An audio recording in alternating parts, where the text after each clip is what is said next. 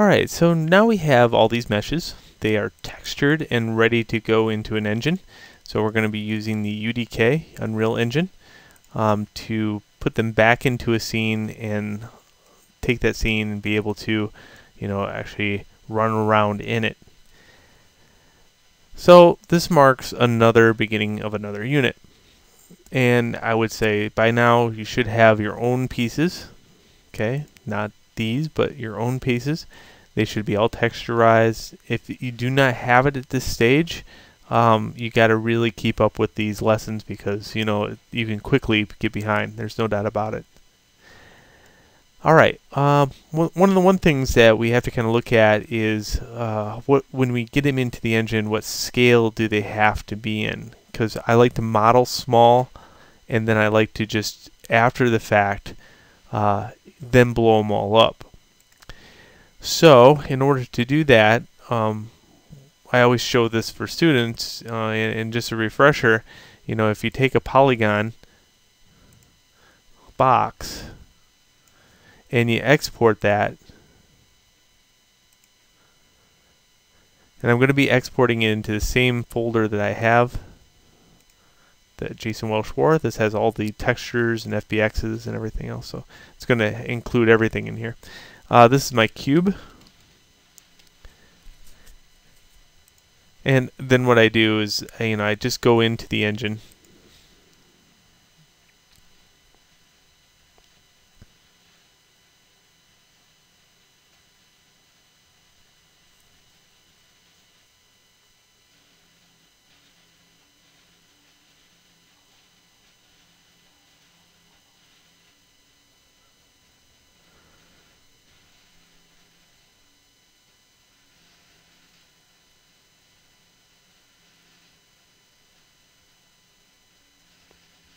and then I'll immediately go to like a blank scene. So the blank scene's already made, and let's make an import here.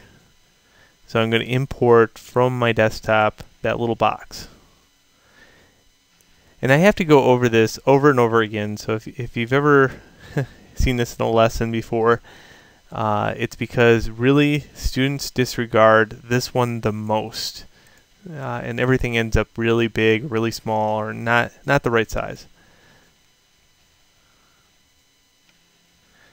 So I found the only way to do this is to keep repeating myself over and over and over again. So this was uh, 01 warehouse and I'll put my name, Jason Welsh. Okay, you can have underscores in here, but you can't have an underscore at the very beginning, or it will not work. And I'll call this cube and hit OK. Alright, so there we go. We got my little cube. Uh, my thing is, I got to click and drag that out from the content browser. And just kind of zoom in on it.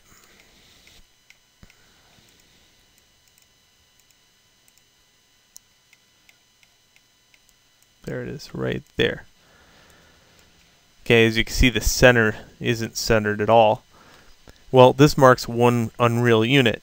So our character is 3 times 32, so 96 units tall.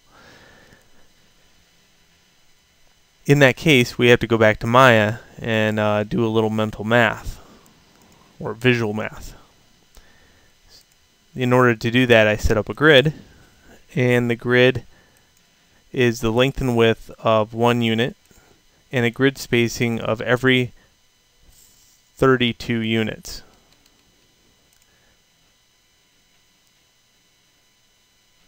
Okay. Uh, and the subdivision of 1. I think that's how I did it.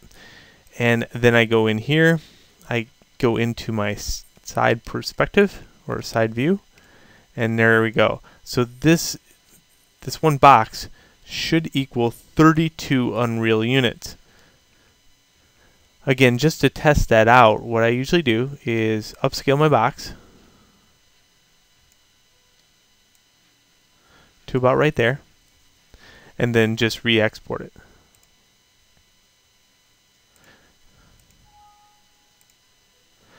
And then over here, I just right click on it and say re-import static mesh.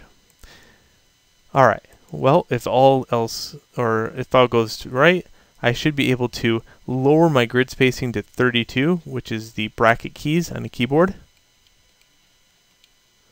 And this should fit into a 32-bit square. And sure enough, it does.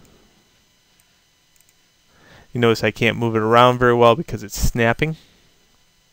We'll get to that in a minute. Alright, that's perfect. Now I can deduce how big a door is supposed to be and how big a scene is supposed to be. But again, just to make perfectly good sense of it, you have to kind of have a character on hand. So in this case,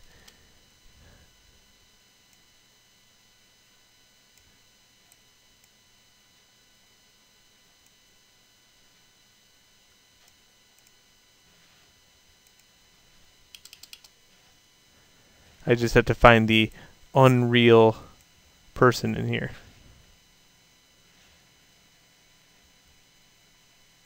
And I have a lot of stuff in here, so sorry about that. It's just um, teaching all these classes. I got student work in here beyond belief. And I can't think of the dude's name right now. So uncheck that. Let's go to uh, skeletal meshes let's choose this option and go to UT game and that'll give me every skeletal mesh and there it is. Uh, it's SK CH Iron Guard. So this is the same scale of the player. So we have to click and drag him out.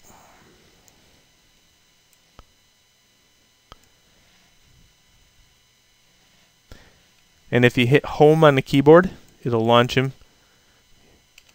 Whoops home. And then also if you hit end, it'll drop him to the floor. Notice that he is not on the floor.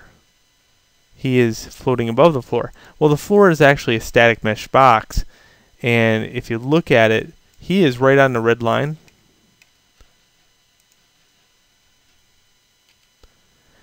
But because of his grid spacing, it won't allow him to drop any further. So in this case, I have to tighten the grid spacing up, and I usually go to 1, and that will allow me to uh, drop him down to the grid, or to the box.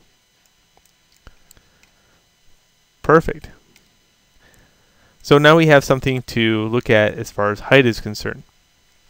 Alright, well how can we get all the parts to be the exact height and width of a player? Uh, very, very, very simple. We concentrate on the one thing that's all always the most important, and that's the doorway. Okay, so in this case, uh, 2 times 32, okay, is the actual do doorway, and in the in Maya, we just have to resize all the parts so that the doorway makes relative sense to 3 times 32 for the height and 2 times 32 for the width.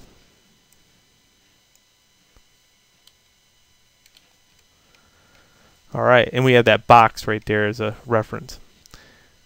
So I'm just going to take all these parts minus the box in the background.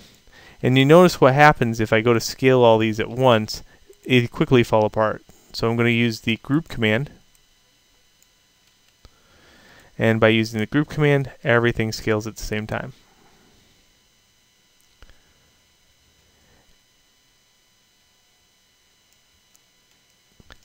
Okay, now I just have to pay close attention to the doorway there.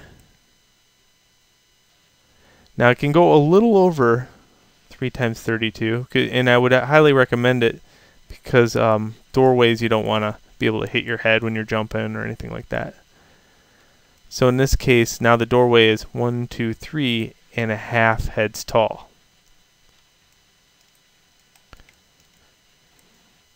All others should fall into suit as far as the scaling is concerned. One, two, three and a half. All right. Just to test that out, what I can do is now export, uh, let's say, the doorway into the engine and see if my character fits into it. So in the next video, we'll look at that.